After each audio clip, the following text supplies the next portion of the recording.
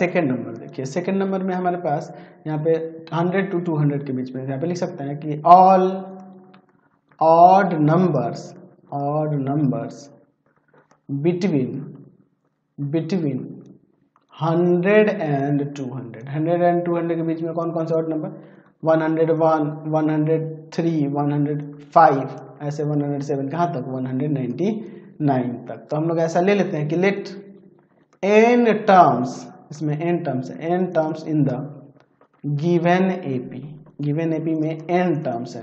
ठीक है? तो इसका फ़र्स्ट टर्म इसका फ़र्स्ट टर्म क्या होगा?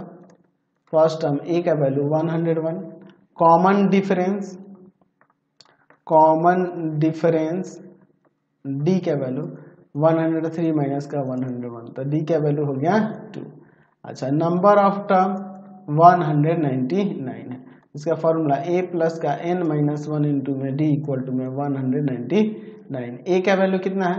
तो 101 है और plus n minus one into में डी का वैल्यू टू है? इक्वल टू 199 इधर ले जाएँगे, सब करेंगे तो एन माइनस वन इंटू में टू इक्वल टू में 98 यानी कि आ जाएगा n minus one equal to में 49 एक जाके ऐड होगा तो एन का वैल्यू 50 आ जाएगा। ठीक है? अब देखिए एन का वैल्यू 50 आ गया।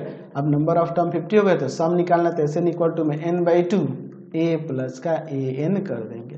तो एन बाई टू यानी fifty by two first term है आपके पास वन हंड्रेड वन और लास्ट टर्म है वन नाइन्टी नाइन चलिए, ये ट्वेंटी फाइव तो ट्वेंटी फाइव और इंटू में ये हो जाएगा आपका थ्री हंड्रेड तो ये सेवेंटी फाइव हंड्रेड आपका सम निकल के आ गया। चलते हैं नेक्स्ट क्वेश्चन पे। Question number fifty